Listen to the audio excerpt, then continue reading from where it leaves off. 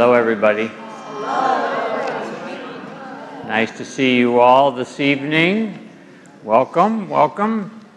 Big round of applause to uh, Kathy and her crew for the wonderful dinner. Yay. Hope you were able to enjoy it. It sure looked good. And uh, if you act fast, there's still some cookies and strawberries and stuff over there. So, you know, he who hesitates is lost. So keep that in mind. Uh, so good to have you all here. Uh, we are continuing in our uh, discussion on the Gospel of Mark. Welcome to our online community. We're grateful to have um, uh, those good folks joining us. Uh, if you can imagine this group times, I don't know, maybe three or four um, is, are the folks that are watching this uh, from the comfort of their own homes or at a time that is more convenient for them than uh, Wednesday evening. So we're grateful that uh, technology brings us all together. And, um, and don't think that you get more gold stars because you came here uh, at, uh, for, for the, oh no, I'm so sorry. Yeah, now you're going to get up and leave. So um, no, you got a good dinner. That's, that's the big benefit. But no, we, we certainly do, and I would reach out to our online community to welcome you to come and join us uh, if you have the chance, because you get to see all these wonderful people, right? And uh, also, we get to uh, experience some fellowship together, and, and that's a good thing. Um, it's always good when the body of Christ gathers together in person. Um, and I know that that's something that will continue to um, challenge everybody on, especially as we develop new patterns and, you know, and the convenience of staying home and watching. Um, and again, that's no mark against anybody that does that, but at the same time, we certainly do um, gain something by being together uh, in person with one another. So we uh, always encourage you to be thinking that way uh, throughout the week and on Sunday morning. I better pray, so let's pray.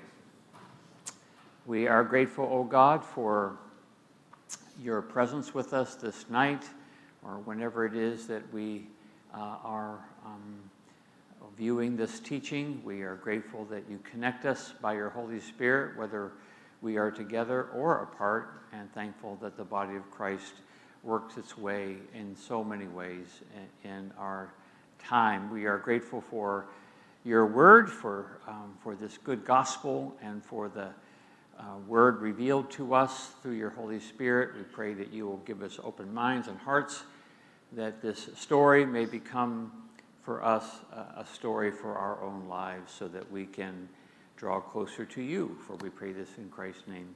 Amen. Okay, well, uh, several people asked uh, tonight, uh, how far are we going to get tonight?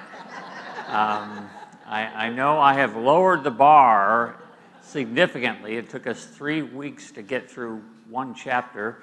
Um, and I promise that we will kind of pick up the pace a little bit, um, but we don't want to necessarily um, uh, um, avoid the opportunity we have to go deeper into some of these texts and to wonder what gold is to be found there. Um, you know, good, a good gold miner doesn't do things quickly.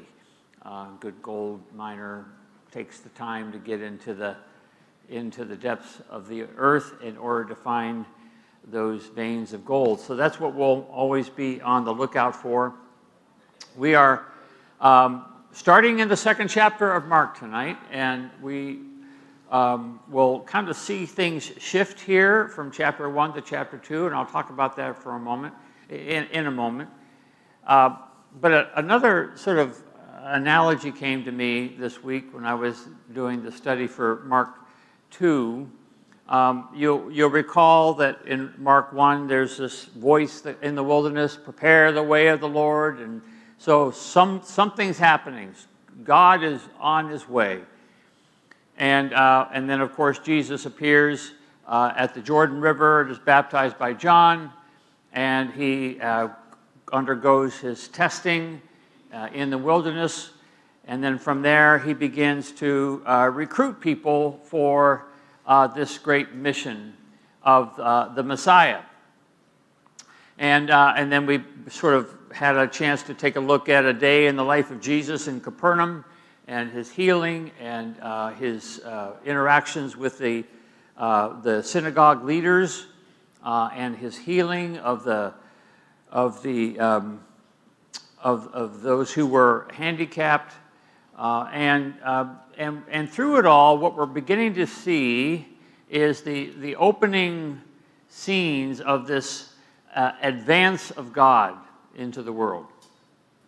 It makes me think, uh, you know, I, I got to drop C.S. Lewis in here at some point, so it makes me think of uh, that great series of the Chronicles of Narnia that Lewis wrote, and uh, that first story, The Lion, the Witch, and the Wardrobe. How many of you have ever read or seen the movie of The Lion, the Witch, and the Wardrobe? Excellent. Um, you do get a gold star for that, I just want you to know. Uh, but The Lion, the Witch, and the Wardrobe begins, right, with these uh, children entering into Narnia. And uh, when, they, uh, when they enter into Narnia, what they discover is that Narnia is, uh, is within the clutches of the, the White Witch, right? There's the, the evil one has uh, taken control of Narnia. And in Narnia, it's always winter, never Christmas.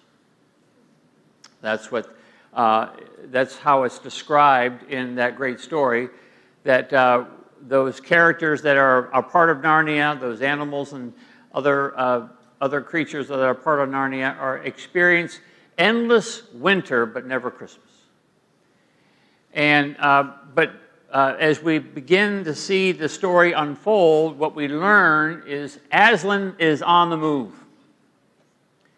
Aslan is that the great lion who, uh, you know, in many respects serves as the Christ figure who has made his advance in, back into Narnia in order to reclaim Narnia for the emperor beyond the sea, who is the, the God figure, God the, God the Father. And what you see as the story unfolds is that winter begins to recede. And, uh, and, and in the recession of winter, uh, comes great threat to the powers that are trying to keep winter always uh, a part of Narnia. And, um, but Aslan is on the move, and winter is beginning to recede, and a new creation is beginning to form. A new day is beginning to dawn in Narnia because Aslan is on the move. Well, I think of that when I think of these opening chapters of Mark because in a sense what we're seeing is Aslan is on the move. We're seeing you know, that the kingdom of God, as Jesus preaches in Mark 1, is at hand, that the kingdom is making its way into the world. And in Mark 1, we get all these wonderful stories where people are very, very receptive to this advancing kingdom.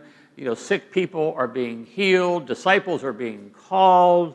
There is this sense of this compelling, uh, wonderful, life giving force is on its way, and people are being drawn to it. They're, they're saying, I want more of that. The, the sick want more of that. The, the, these young disciples, these fishermen, want more of that. They, they are compelled to drop their nets and follow this, this, um, this rabbi who appears to have uh, something about him that people feel that they want to connect to. And, um, and so, and, and it's described often, even in chapter one, that he, he teaches as one who has, can you maybe end that sentence? Authority. authority. He teaches as one who has authority. And so they're drawn to this. But what happens in all this kind of story is that uh, there, there is this draw, this people are paying attention, people feel inclined, but then there are those who don't like the advance. There are those that want to want to push back. There are those that are threatened by the new regime. And so that's what we're going to find in Mark chapter 2. We're going to, this is sort of the backdrop for these stories that we read in Mark 2, are the, are the, is the pushback. And you, you know, we're not surprised to see that largely the pushback comes from those who have control of the former regime. Right? You know, those that are in control of the former regime very seldom say, oh, look at this. A new way of doing things. Isn't this great? Come on in. You know, here, have my office. Um, no, there's pushback. And that's what we're going to experience in, uh, in Mark chapter 2. So, um, let's take a look at the first story. and the first story begins in verse 1 and goes through verse 12. So if you have your Bibles, um, I invite you to follow along. And again, I'll repeat that it's okay if your translation sounds a little bit different than mine. Um, it actually makes the whole thing richer because uh, we have different nuances of the English language. And uh, it's important to kind of, you know, get a feel for the expanse of what is being, uh, what is uh, the expanse of what is held in the original language. So I'll read the, the first uh, 12 verses. When Jesus returned to Capernaum, you remember Capernaum was the home base of Jesus, not Nazareth, not Jerusalem, not Bethlehem, Capernaum, little fishing village right on the coast of the Sea of Galilee, right on the northern shore. Um, these days, Capernaum is not right on the shore because lots of things have happened top topographically over the last 2,000 years. So the waters have receded, and, um, and so Capernaum is pretty far back. I don't know exactly how far back, but I'm guessing maybe a mile or so. Um, but in that day, Capernaum was sitting right there on the edge of the Sea of Galilee. so he returns to Capernaum after some days. It was reported that he was at home. Interesting, where's home? Uh, didn't we read somewhere that Jesus doesn't have a home? Um, so we're inclined to think uh, that uh, Jesus' home was the home of Peter and his family. Remember, we learned that Peter had um, a wife. We know he had a wife because he had a mother in law. And um, usually, mother in laws come with wives, so just so you know that. Um, so, uh, and, and that's likely where Jesus resided, uh, is in Peter's home. So he's at home. Uh, so many gathered around. So many gathered around that there was no longer room for them, not even in front of the door, and Jesus was speaking the word to them. Then some people came, bringing to him a paralyzed man, carried by four of them, and when they could not bring him to Jesus because of the crowd, they removed the roof above him. And after having dug through it, they let down the mat on which the paralytic lay. And when Jesus saw their faith, he said to the paralytic, Son, your sins are forgiven. Now, some of the scribes were sitting there questioning in their hearts, Oh, why does this fellow speak in this way? This is blasphemy. Who can forgive sins but God alone? And at once Jesus perceived in his spirit that they were discussing these questions among themselves, and he said to them, Why do you raise such questions in your hearts? Which is easier to say to the paralytic, Your sins are forgiven, or to say, Stand up and take your mat and walk?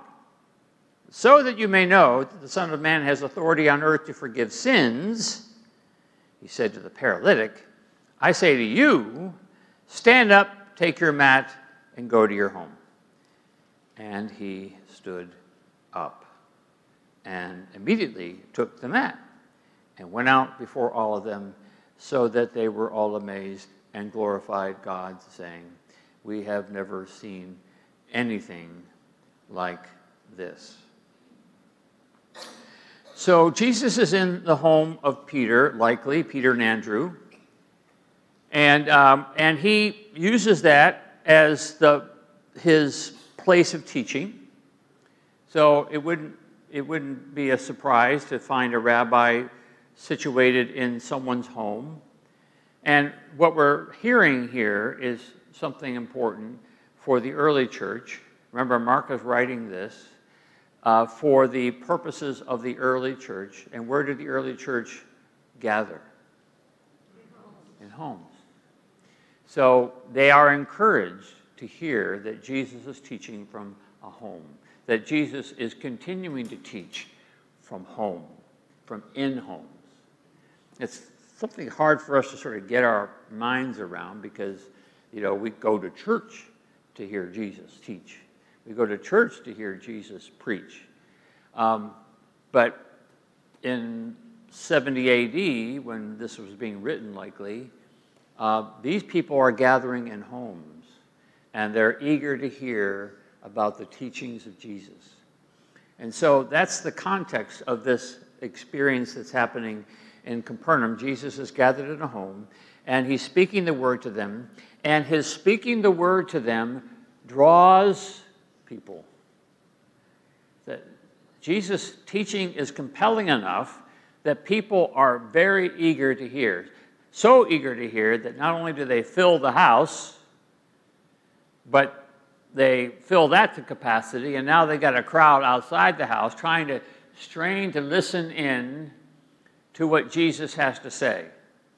It's kind of like Sunday morning at Church of the Palms, right? So um, they're straining in to hear what Jesus has to say because he is bringing to them a new word, an authoritative word, a word likely that is relevant to their lives. This guy is talking about us. He's addressing us. He's seeking to, he's seeking to bring the kingdom to us, and that draws them uh, to hear what Jesus has to say.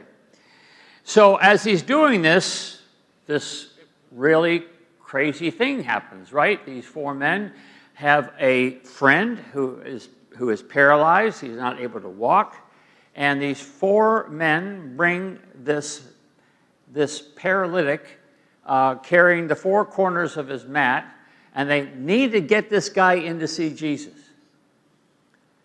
They need to get him to the source of the healing. I love these four guys. Oh, I assume they're guys. Maybe not. But I love these guys. They love their friend so much that they were willing, they're willing to carry the four corners of his mat.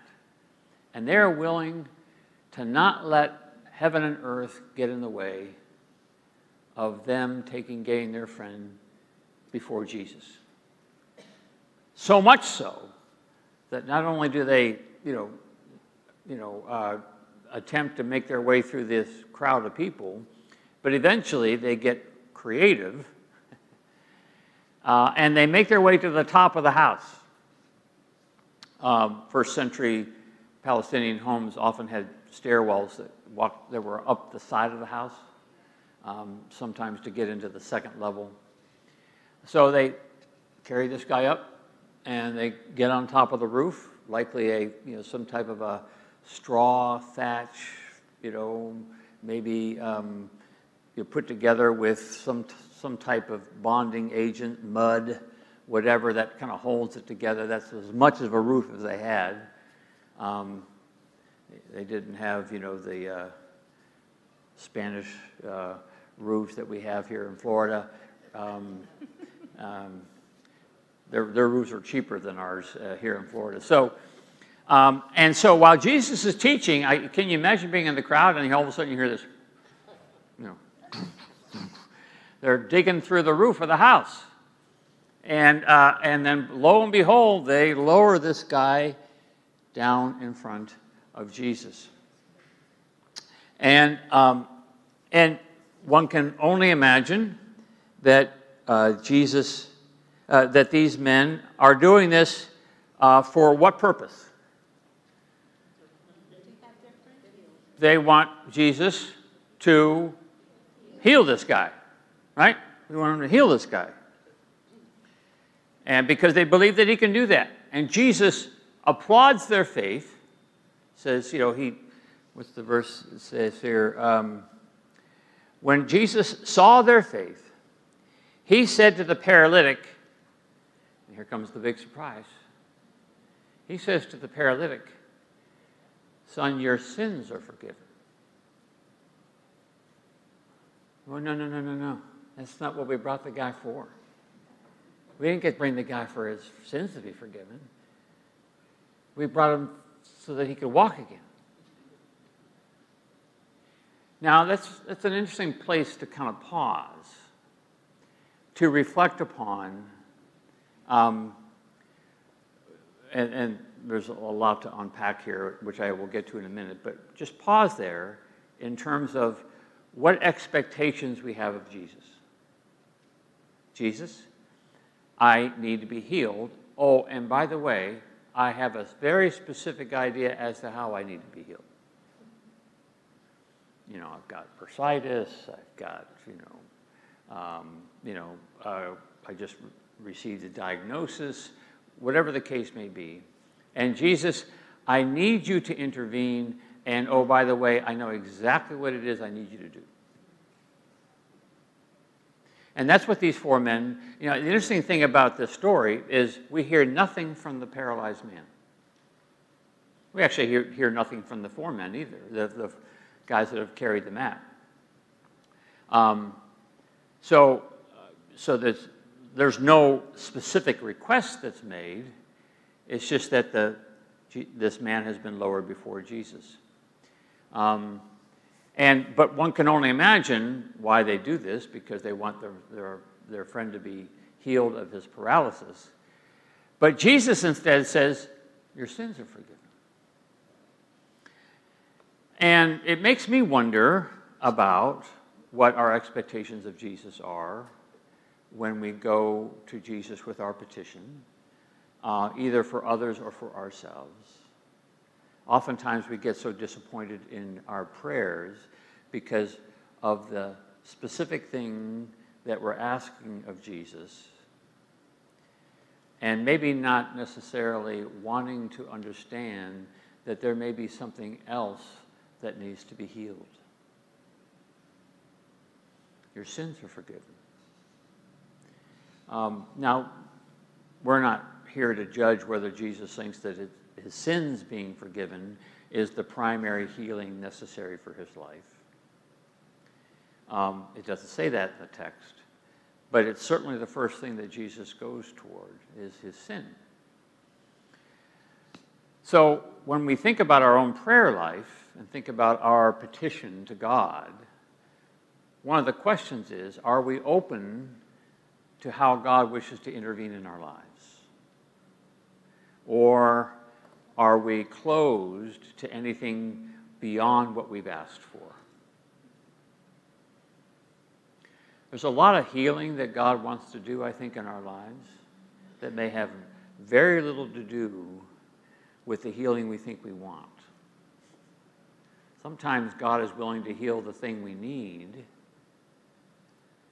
um, but we close ourselves off to that because we only want the healing that we think we, we need. So there's, a, there's an interesting thing that's going on here that might inform us in terms of our own encounter, our own expectations of what Christ can do in our lives you know, frankly, one of the other things to pay attention to is that while Jesus is doing lots of physical healing and he continues to do so, especially in the first half of Mark, um, it may very well be that the, the healing he's most concerned about doing is bringing forgiveness to us, to free us from whatever guilt or shame or whatever it is that in our life that is actually probably having greater havoc in us than maybe those physical concerns that we, that we have. And, and the truth is, the truth is that there will always be, we will, we will all die from something that won't, um, won't eventually be healed, right? You know, we're all going to pass away. It looks like a surprise statement to some of you. um, really? Um, there's, there's always, there's going to be something, you know, obviously not to take into account, you know, things that happen externally to us that have nothing to do with illness. There are those things that happen as well. But, but that for most of us, we die from something physical that has not been healed, right? Cancer, um, you know, heart conditions, you name it. Um, so it may make sense to us that the thing that Jesus is most concerned about healing is our sin, our brokenness, right? Because in the end of the, at the end of the day, that's really what's going to matter most at the end of things, because we all are going to die physically. But how are we? How are we um, doing spiritually? How are we doing with our own sense of being and our relationship with God and our own sense of shame and guilt and all those things that can often put even greater barriers to our relationship with God than the physical. And believe me, I do not take lightly the physical. I get it. There's great physical maladies that are, have a great effect upon our own spirit and our own emotion and our own being. Uh, and yet, at the end of the day, when it comes to our being forgiven, um, that is, at the end of the day, the thing that keeps us most connected with God. So, um, so there are the religious authorities sitting there listening to Jesus in the house, and they hear this guy get speak, you know, speak up and say, "Your sins are forgiven," and they're like, "What the heck?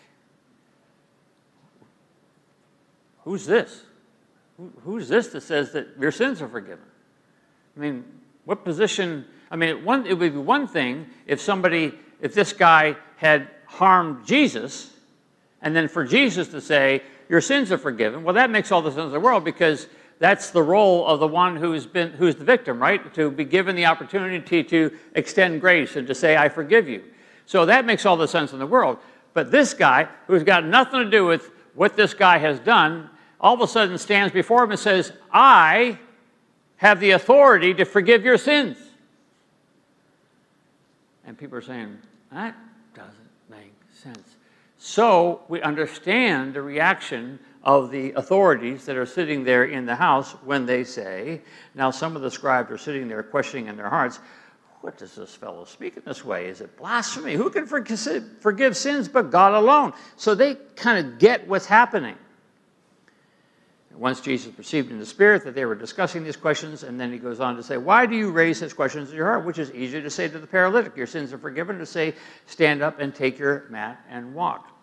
So there's, there we go. That's your cue to check your phones. Um, so um, Jesus then understanding something that is important to understand the idea of the having the authority to forgive sins is an intangible, right? To say, for me to say, you know, for me to stand up here before you and say, um, Judy, your sins are forgiven. Um, first of all, you would be looking at me thinking, Steve's been working too hard and he got a little messiah complex here and, you know, and, and, and beyond that, you would say to yourself, well, how do I know that that's true? How do I know that her sins are forgiven? How does Judy even know that her sins are forgiven? Just because I said so? I mean, how do, how do we make, how do we find any proof in that? So Jesus says, uh-huh. So what's it easier to do? Forgive a person's sins or to tell him to get up and walk. So he turns to the paralytic and says, Okay, we'll give them something tangible. We'll show them who has authority. We'll show them who has power. And he turns to the paralytic and says, Stand up, take your mat, and walk. And the man does. And now all of a sudden, we have this dilemma in front of people. Most people grateful because it says at the end of the story, um, they were all amazed and glorified God, saying, We have never seen anything like this. But for those who are kind of holding on to the old regime, this is a threat, right? This is like, whoa, whoa, whoa, whoa, whoa. this guy's this guy can forgive sins. He can he can heal people. Ooh, this isn't good. I mean, we got a new sheriff in town, right?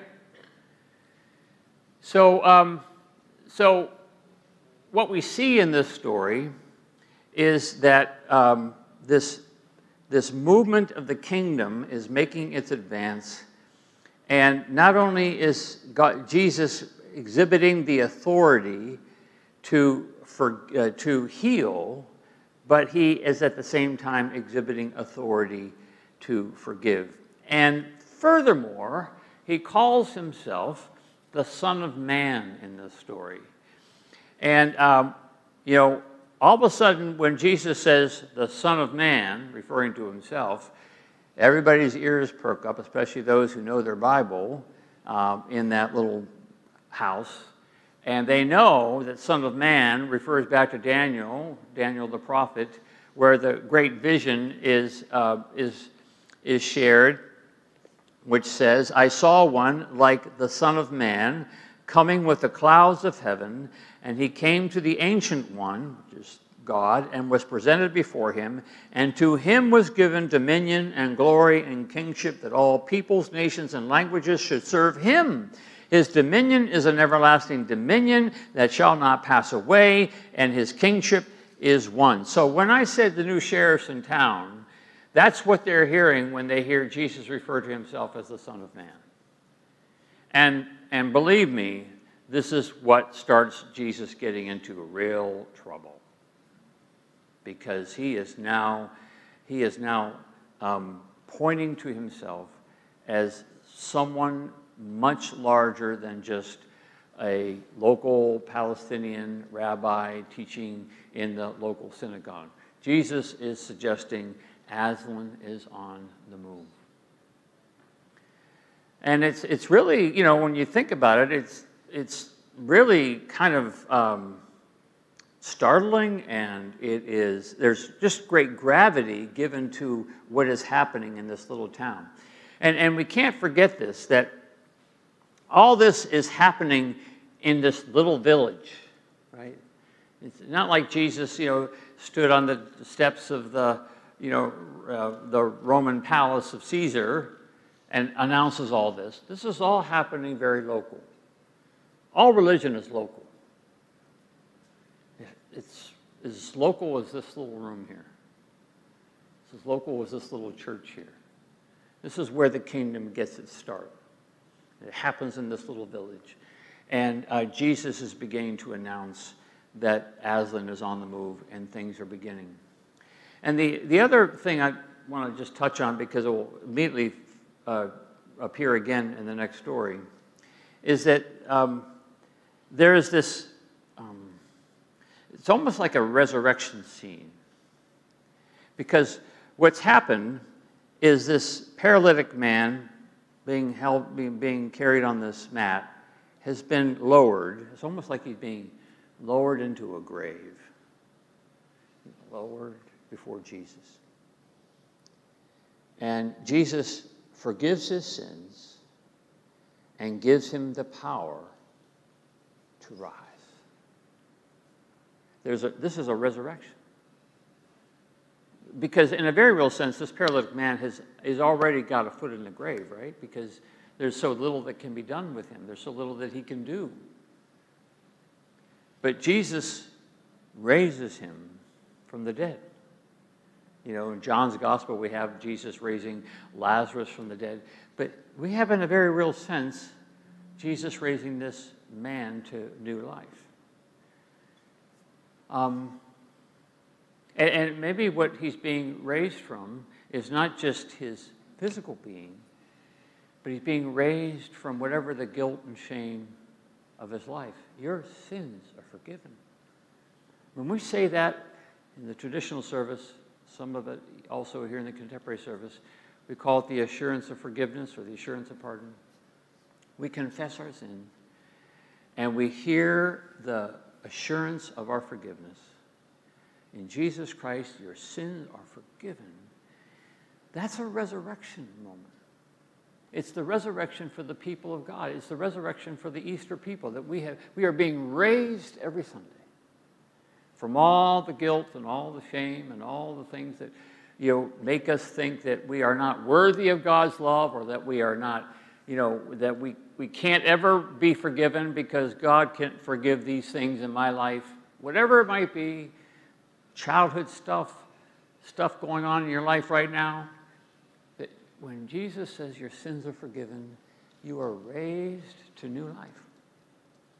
Wow. I mean this is amazing stuff. If, in fact, it's true, right? So that's where the conflict is. There's some that say, oh, this guy, and, you know, we got to find a way to get rid of this guy because he's saying crazy things. But there are others that are being drawn toward it. If you're interested to have grace in your life, this is the one you're drawn toward, right? If you're interested in, you know, just learning, you know, how to be a good or bad, you know, how to be a better person, eh, Jesus may not be your guy. Not to say he doesn't teach us how to be a better person, but you know that journey is difficult if you don't have it. You don't have with you grace. If grace doesn't accompany that, because we never get it all right. We never get it perfect. I, I know some of you are surprised at that, that, you know, but but we never get it all right. But um, but by grace, we are given the opportunity to rise up to a new chapter of our lives.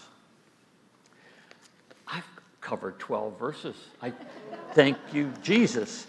Um, yeah, thank you very much. So let's go to the next resurrection scene. Verses 13 through and 14. Jesus went out again beside the sea. The whole crowd gathered around him, and he taught them. Jesus keeps teaching, keeps teaching, keeps teaching.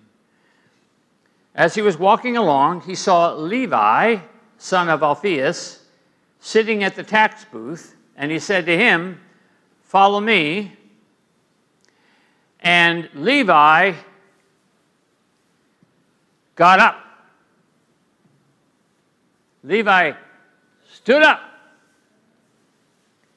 Could have stayed seating, could have stayed seated, could have remained in his tax in his little toll booth, because that's really what, what you know, um, in, in Galilee, the way that Romans collected taxes was not as much with a poll tax because these were, um, you know, these were not Roman citizens, uh, but through um, passage tax. Basically, if you want to cross this river, you got to pay a tax. If you want to, you know, take this road from point A to point B, you got to pay. It's what you know. It's, it's SunPass, right? It's, it's sort of the um, uh, the ancient version of SunPass. If you want to get over the Skyway Bridge, you know, you got to pay your, uh, you got to have your SunPass mark, you know, and you got to pay the government for that to happen. Um, so Jesus, uh, so so uh, Levi is uh, has uh, is a Jew, got a Jewish name, Levi. other gospels call this person Matthew, but Mark calls him Levi. No surprise that Matthew calls him Matthew. Um, but this is Levi. And Levi is a good, you know, is, is of Jewish descent. And he has conspired with Rome. We talked about tax collectors last week. He has conspired with Rome in order to not only collect poll, um, uh, um, tolls from the people, but to ex, um, extort the people in the collecting of the tolls. Say, well, not only do you owe a quarter, but I need to put on my quarter too. So I get a quarter, Rome gets a quarter, and you can go. And if you don't like it, then you don't go. So uh, you can imagine Levi is not you know, the most favorite you know, guy in town. And Jesus comes to him, and his, he, he, is, he is seeking to Give him a new life. Follow me. You were once here. You were once dead.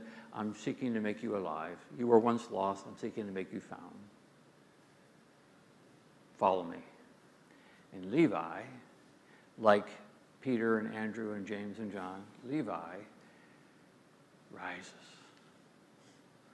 and says, I will follow you.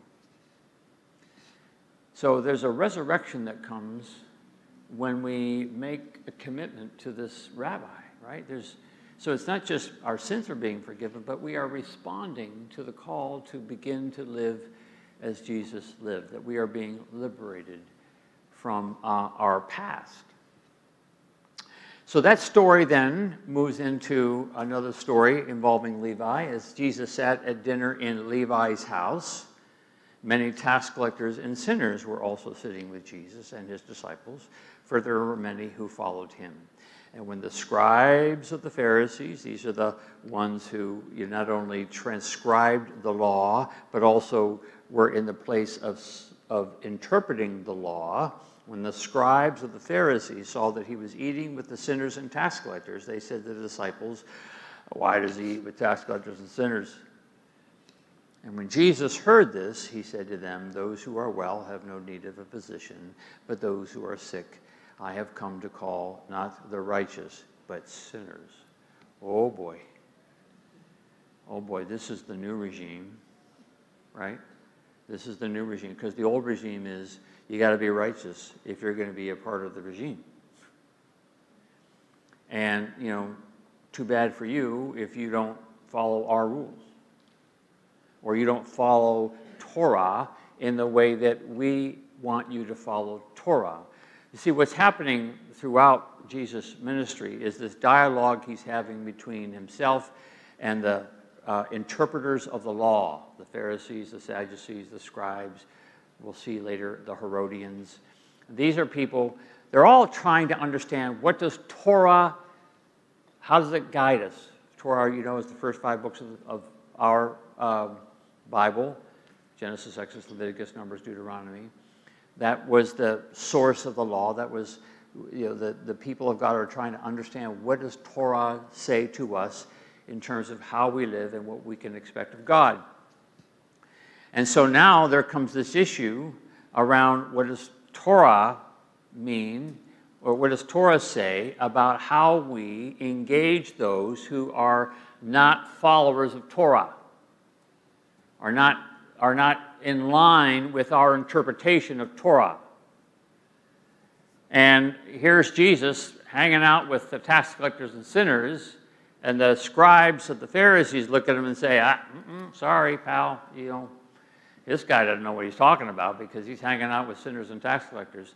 And what Jesus is doing, not only by word but also by deed, is he is exhibiting a new interpretation of Torah. He's showing a different teaching, a new teaching, one that is compelling to those who feel that they have been excluded from the interpretation of Torah. That's the great thing about laws. You can interpret them a million different ways, and you can usually find someone who will interpret them your way. Right? Or we often will interpret you know, the norms of society in the way that most benefits us and our kind. Um, so Jesus is busting that all open, and not only is he, you know, not only is he teaching new interpretations of Torah, he is now living it out, and he is participating in this banquet with Levi, the tax collector, and he's hanging out with tax collectors and sinners, all those unrighteous people. And what's happening is we're getting a vision, and here's a new phrase for you to remember, again, to impress your friends wherever you might go, you know, so just to throw this phrase out. Um, but in a sense, what's happening is what's called the S. Oh boy, you're going to be so impressive with this one. The eschatological isn't that a great word? Eschatological banquet. What does that mean? I should spell it first. Anyone know what eschatological means? Woo!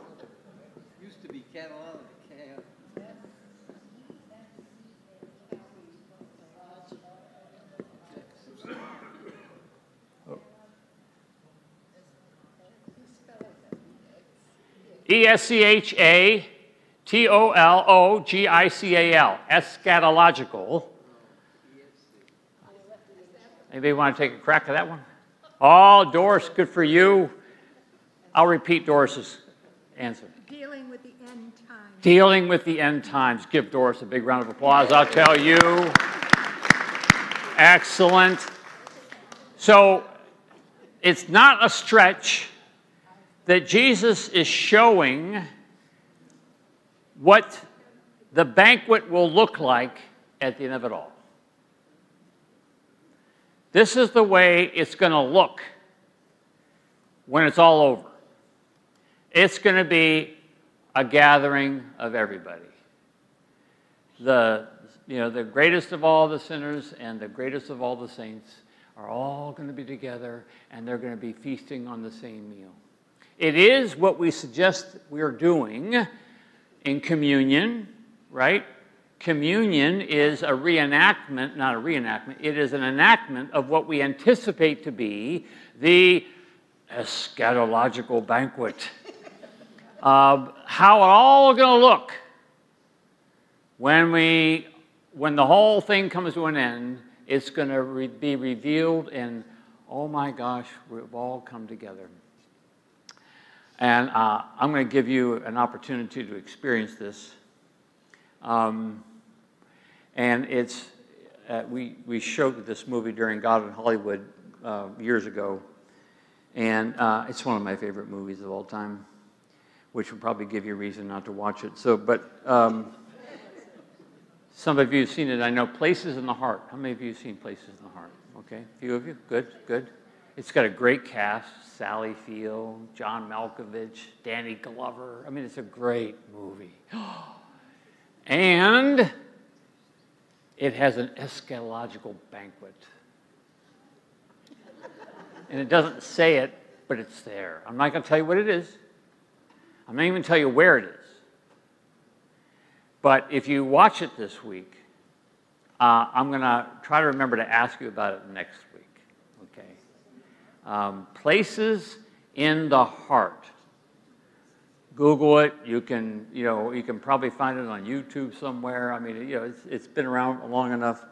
Um, uh, or you can, you know, find it on some streaming service, I'm sure. Um, you know, Netflix or whatever probably has it. I know it, they did have it a few years ago when we watched it for God in Hollywood. But eschatological banquet is in the middle of this movie. And um, I remember when I watched it for the first time, it, it took my breath away. So, you know, I'm really selling this thing, aren't I? You know? And I get no royalties from this movie, I just want you to know. But um, I really encourage you to watch it. So there they are. They're participating in the eschatological banquet because Levi has been raised and everybody else is being raised. And now they get together as the raised ones. They have been brought from an old life to a new life because they are in the midst of the presence of Jesus. They are with the Messiah, the one who forgives sins one who has authority to forgive sins. Wow.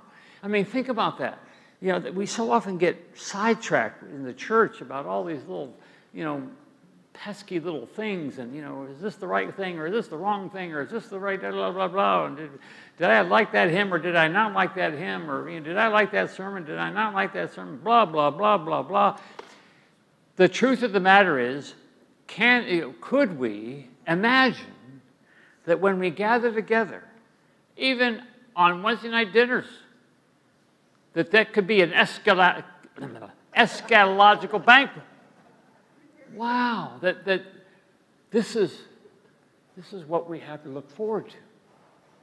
The, the people of God coming together, not as, well, aren't you lucky I showed up in church today?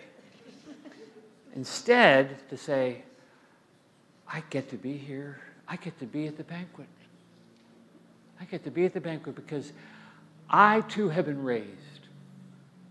I too have been delivered from my sin. I too have been healed in whatever ways by which God has chosen to heal me. And I get to be here. Wow. I mean, it's a whole different way of understanding what it means to be a part of, uh, the, a part of the church.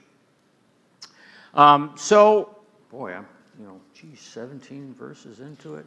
Um, and then lastly, you know, Jesus sort of identifies himself as the physician, um, that, that Jesus is the physician. He has come not to uh, minister to the righteous, but to those who are sick. Uh, he's the physician, he's the doctor. Which is interesting to think about in terms of our own mission, our own decision to follow Jesus. Jesus is going to take us to places that um, put us at risk. This, you know, good doctors are not, you know, good, a good doctor doesn't say, oh, I'm sorry, I can't tend you because you're sick. You know, because I might catch something if I take care of you.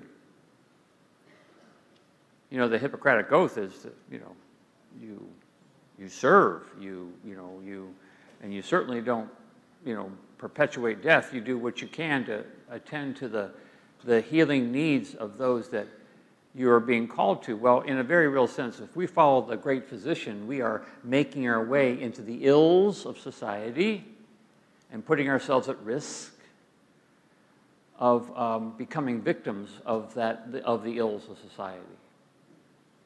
You know, way down the road here, we'll see Jesus on the cross. That's what happens to the great physician, right? He's seeking to address the ills of society, and this is what happens. So there's great risk that we uh, take when we decide to follow, um, when we decide to follow Jesus. Okay. Hmm. Let's go a few more verses. Whew. Verse 18. Now John's disciples and the Pharisees were fasting, and people came and said to them, said to him, Why do John's disciples and the disciples of the Pharisees fast, but your disciples do not fast? Jesus said to them, The wedding guests come fast, cannot fast while the bridegroom is with them, can they? As long as they have bride, the bridegroom with them, they cannot fast. The days will come when the bridegroom is taken away from them, and then they will fast on that day. No one sews a piece of unshrunk cloth on an old cloak, otherwise, the patch pulls away from it, the new from the old, and the worse tear is made. And as one puts new wine into an old wineskins, otherwise, the wine will burst the skins, and the wine is lost. And so are the skins. But one puts new wine into fresh wineskins. One Sabbath, he was going through the grain fields, and as they made their way, his disciples began to pluck heads of grain. The, disciple, the Pharisees said to him, "Look, what they're look. Why are they doing what is not lawful on the Sabbath?" And he said to them, Have you never read what David did when he and his companions were hungry and in need of food? He entered the house of God when Abiathar was high priest and ate the bread of the presence, which is not lawful for any but the priest to eat, and he gave some to his companions. And then he said to them, The Sabbath was made for humankind, and not humankind for the Sabbath. So the Son of Man is Lord even of the Sabbath. Um, I'm only going to be able to touch on these verses, and we'll come back to them next time, but I want to be able to say at the end of this that I did a whole chapter. Okay? So, uh, that, um, like I said, I'm going to cheat and come back to it uh, next time because there's, there's a lot here to unpack. But, uh, but there's, there are two, and I'm going to leave it at this. There are two um, disciplines, spiritual disciplines, that Jesus is engaging here um, that are brought to him out of concern by those who feel like they are the um, they are the rulers of discipline right? They are the ones who are in charge of how we should discipline our life. And two of those disciplines were fasting and keeping the sabbath. And um, the way that you know uh, many of the Jewish interpreters of the law understood things like fasting and Sabbath was that um, they, lost, they lost sight of this, but it began with an understanding, theological understanding, that fasting and Sabbath were means by which we were participating in what God had called us to do, and we were participating in, in, in anticipation of Messiah's coming. So not only did we uh, fast because uh, we were instructed to. Um, and, and there was lots of interpretation as to how often a person should fast. And there in, um, I think it's Zephaniah where, or Zechariah, where it's you know, the, um, there are four fasts that are suggested, and there are other places where two fasts were recommended per week, four fasts per week, two fasts per week. Um, but that uh, fasting was not only the opportunity to humble oneself and, uh, and repent, but it was also a means by which one anticipated and actually prepared for the coming of Messiah. Same thing with the Sabbath. The Sabbath was um, a gift given to the people of God. And that's an interesting thing that maybe has been lost along the way this idea of Sabbath as gift. That the Sabbath was a gift given in two pivotal moments of the people of God. The first moment was in creation, that God rested on the seventh day. So in creation, God gives to God's people the gift of Sabbath. And in deliverance, God gives to the people of Israel as they are being rescued from their bondage in Egypt. They are brought to the Mount Sinai in the middle of the wilderness where the law is presented. And in the law, the law says, Remember the Sabbath day and keep it holy. Why? Because God needs us to do that? No, it is to remember that we have been delivered from bondage. That Sabbath is a discipline of freedom. And that, uh, and that that's why, and we'll get into this next time, that's why it was such a controversial thing because it was such an, an important gift that God was giving us. And we have to find the right way to receive God's gift the gift given to us in creation and the gift given to us in deliverance from bondage. God, this is a precious gift. It's one of the Ten Commandments. And it's one of the Ten Commandments because God wants to give us this precious gift of rest. And, but not just rest because, you know, oh, my, I'm so tired. I've had such a busy week. I'm going to take the day off. Not at all. Rest in order to show and to live in our freedom from the bondage we might have to all the other things that are claiming our time. Right? It is an act of um, resistance to the world when we participate in Sabbath. It is an act of resistance to the world when we fast. Because we are saying there is something more important than what the demands of the culture around me are um, expecting of me. So that's the background. When we get, we'll get into the exchanges in these two stories and, and some other things. But um, it's something to reflect on when you think about our own discipline and what is, how does, does fasting fit into our life? Um, does uh, Sabbath fit into our life? And if so, how? It's an interesting thing for us to consider. Um, and I'll come back to how scandalous all this is when we uh, take another look at it at the, um, at the beginning of next time. So uh, it's 7.28 and 42 seconds.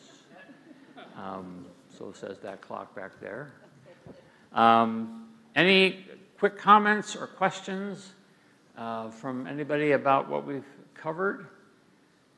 thought a fair way to ask that. You know, quick comments or questions. Oh, whoa, we got one over here. Steve? So my question is. Wait, we got got we got to get a microphone because our online community can't hear this wise question that's coming from you. Wise. Um, question is, at the time, wasn't sickness considered a result of sin? So there was sort of a pre-knowledge or a, an assumption that there, if someone was sick with uh, leprosy, let's say, they had some sort of sin that needed to be removed? Great question. Thank you for that. And you're right. Um, there was a, and, and come Sunday, because I'm going to preach a little bit about that. This is a shameless plug for coming on Sunday. So um, I know you'll be on, you know, on the edge of your seat listening for, for the answer to this question. But yes, there was a theology baked into Judaism, and it's still around even today, which says that um, you deserve what you get. You deserve what you get. So if you're sick, something there's something wrong in you that resulted in this. If you are rich, man, you must be in God's favor because look at you. Uh, so there was this really kind of warped theology that, that you know, sort of, and, and what it did is it, it helped people to feel good about these divisions that they created. Like, well, I don't, I don't need to have anything to do with that leper because he got what he deserved. You know, you know, you're, you're, you know, you are what you are, and that's that's life. So we'll put you in leper colony. So, um, and and it made the righteous. It gave justification for the for bad behavior. Right.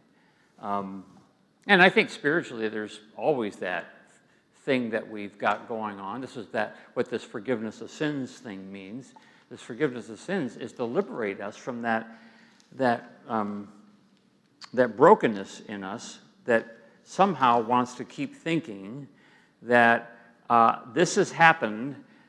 It must have been because of this I did. It must have been because of who I am. It must be, you know, da, da, da, that somehow this made this happen. And, and, and it's not to say that we don't mess up and cause a lot of our own, you know, brokenness. I mean, we, we certainly, you know, I, I've done some dumb things and I've paid dearly for them. But, um, but that's not because God wanted that to happen. That's not because, well, okay, McConnell, you slipped up. Ha ha. We'll see what happens to you, pal. Um, that's bad. That's, I think, bad and broken theology um, because it's really not God that's a part of that. It's just the result of, you know, um, the consequences of our lives. Um, and, and that's what Jesus is kind of liberating people from. It's like, you know, it doesn't matter. This paralyzed guy, you may think it's, he deserves it, but that's not it at all. Stand up, your sins are forgiven. I'm raising you to a new life. Um, and you can put all that behind you. So, uh, one more question. Thank you. And also, Places in the Heart is, you can find it on Netflix. Greg over there discovered that. Ah, Places in the Heart. Find it on Netflix. And um, I get a dollar for every view. So, yeah, Bob. Uh, Steve, when I listened to your uh, presentation the first week, I got the feeling that Mark was gathering stories and recording them after they had happened. And I got to thinking about that in the sense that, you know, if I were Mark, I would be putting down just the absolute facts this happened and that happened. But there are so many nuances in this story that it makes you believe that God is somehow guiding his word and protecting it. And then you go through all the various translations that we've had. Just make a couple comments about how does God protect His Word so that we have something authentic we can trust? Thank you. It's a great question. Um, yeah, I, I, you know, going back to last year when we talked about the nature of the Bible, I think what's what's I, what I believe is really at work here is the, is the work of the Holy Spirit that is seeking to use our human, the human vessel of language, translation, um, oral tradition, um, people like Mark putting together a story. Um, I, I, believe very much so that the, Holy Spirit is at work there, and often in ways we can't quite even imagine. Right? That we, what, I think sometimes what we want the Bible to be is something that we think it needs to be in order for it to be God's Word. Well, that's not up to us. It's up to God to make it God's word in the way that God wishes to make it God's word. And a lot of that has to do with the work of the Holy Spirit to, to bring that word forward to us. So, like we were, I said at the beginning, we're all reading from different translations of the Bible. And, you know, one person could read one verse that's translated this way, another person could read another verse that's translated this way. And, uh, and for whatever reason, this person reads, you know, the language that's, you know, translated this way, and the Holy Spirit just, yeah, one of those words jumps out, it's like, whoa, I never thought of it that way. You know, that's, that's amazing. Uh, and all of a sudden, something's going on inside a person because somehow the Holy Spirit's been at work through that. Um, and had that person read a different translation, what's that mean? That, that word's not in that translation. What does that mean? Does that mean that, you know, well, that does it mean it's not the God's word? No, it doesn't mean that at all. It just means that the Holy Spirit works in ways that we can't comprehend, right?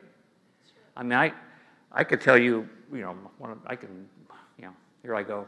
Um, I could explain to you stories in the Bible that at, at a certain time when I've read the story, a story that I've read a hundred times before, and I've read the story,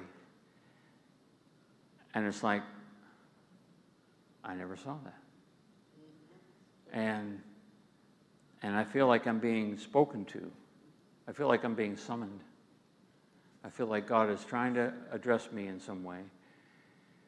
And, and, I, and I can't explain it, but I believe that somehow the Holy Spirit is at work in that.